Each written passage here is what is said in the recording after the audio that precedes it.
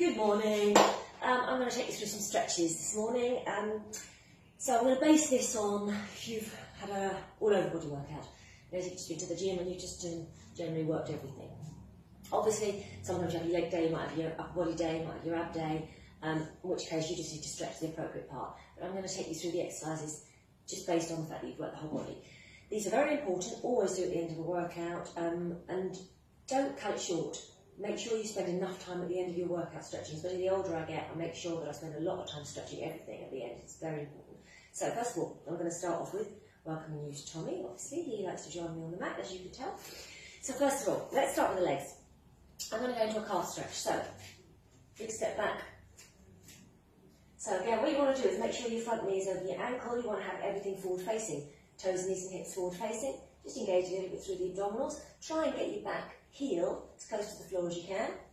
Okay? And again, if you can, just go a little bit deeper into it. So hold this. I mean, hold these stretches. I'm not going to hold this that, for that long because I'm just you know, demonstrating them. But 30 seconds. At the end of a workout, try and hold this for 30 seconds. Okay, so that again, shake it out, shake it out, and then obviously you're going to do the other side. I don't need to show you both sides. So, quad stretch, that was for the calf, bottom of the leg. This is for the quads, this again, now, you might want to hold on to something, that's absolutely fine. Bring your knees together. Just tuck under a little bit. Tuck your pelvis under a little bit. And stand up nice and tall. Lift up the chest.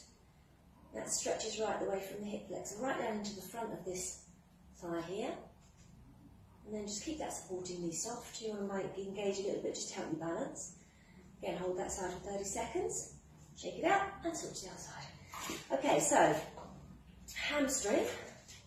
One leg forward. Again, try and keep your knees next to each other.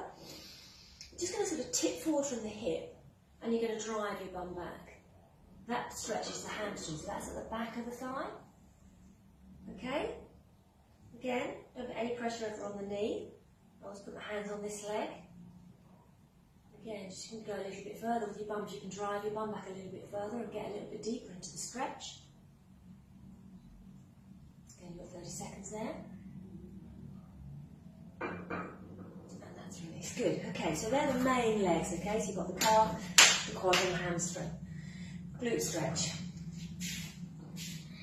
Hold. Okay? Then you can do this on the floor as well. There's lots of different ways to do it, stretches, but I'm just showing you one variation. So, ankle, and you're going to bend. Now again, you may not need to go very low. So basically what you're doing here, bending this knee, holding on to something for balance, driving your bum back, sitting down, and that is now stretching right there. Okay? So again, you're going to hold that for about 30 seconds, and again, if you can, just bend a little bit deeper into it. And up, good. Okay. So, let's move on. Abdominals, so we're moving up. Abdominal stretch, I just find a really good one is just to do a full body standing stretch. You can do this lying down. Standing stretch, feet underneath your hips. Stretch out to the sky. That just feels good. Okay, and again, if you've done your abdominals, you might want to just add a little back extension in.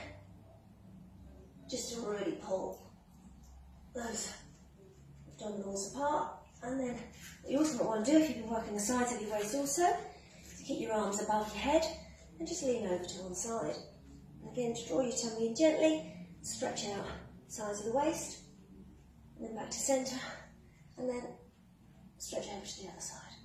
Again, just hold that for a few seconds. Again, you can do that with just doing this as well, side bend, just reaching down the side of the leg, okay? So we're going to move on now to the arms. So, I'm doing those triceps, arm up, bend at the elbow. That elbow is directly over your shoulder, okay? Press very gently and try and keep your head lifted, try and keep your head high. Again, you're going to hold that stretch for quite a while, and then you're going to release it and do the other side. Okay, now, if you've been working your biceps, a good one I think is to take my hand straight out, my arm rather, fingertips, and pull back on that hand. Okay, pull back on the fingers then the front of that arm there, okay? Another one, hands behind chest stretch. Got two options here. Hands are either in the small of your back, or you can clasp your fingers together and pull away from the body like this. I do either, I do both of those, or either of those. Feet again can be hip, um, hip distance or shoulder distance apart. And again, you're just pulling down and you're pulling away. That's the chest. Now the shoulders, arm across, lovely shoulder stretch. This everyone loves this one. Other arm comes up, gently eases it over, and hold it across there.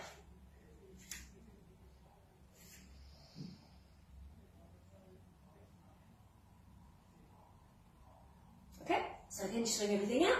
Um, I think that's pretty much everything. Um, uh, yeah, again, you've got the back, you've got the spine, I guess, as well, which, which I like. Another one I like to do is bend the knees, place the hands on the thighs, draw the belly in, and just arch the back out.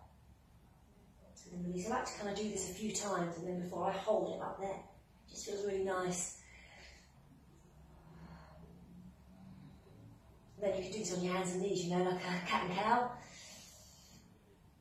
And then I just hold it up there and press up. So again, that's just really stretching out through the back, which feels really nice. And then let it go. So there are a few stretches for you. Let me know how you get on. Do them. Do them.